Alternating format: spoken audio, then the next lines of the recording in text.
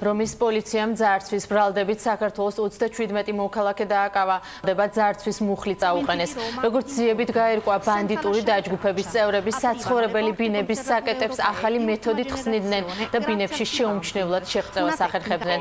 დაკავებულთა ბინებიდან პოლიციამ 2 მილიონი ევროს ღირებულების ნაძარცვი ნივთები, ოქრო, ვერცხლი და ძვირად ღირებული კომპიუტერები ამოიღეს.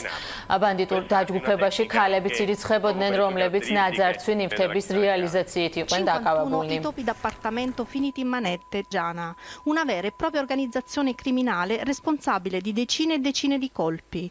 I coma che hanno condotto l'operazione erano sulle loro tracce già da un anno. Cente quantità di refurtiva, gioielli, argentina, ამ ტიპის გასაღები ევროპაში ნებისმიერი ტიპის საკითხს ხსნის. მორდმოქმედები ბინებს ძირითადად საცხოვრებელ корпуსებში ძარცვავდნენ, ისინი კარის სათვალთვალოზე წებოვან ქაღალდებს აკრავდნენ და შემდეგ შვიდად მოქმედებდნენ. მათ პასპორტები საქართველოში აქვს დამზადებული. ევროპაში ყალბი პასპორტები ცხოვრობდნენ და ორი კვირის შემდეგ სამშობლოში ბრუნდებოდნენ. ისინი ერთწლიანი თვალთვალისა და გამოძიების შედეგად დავაკავეთ.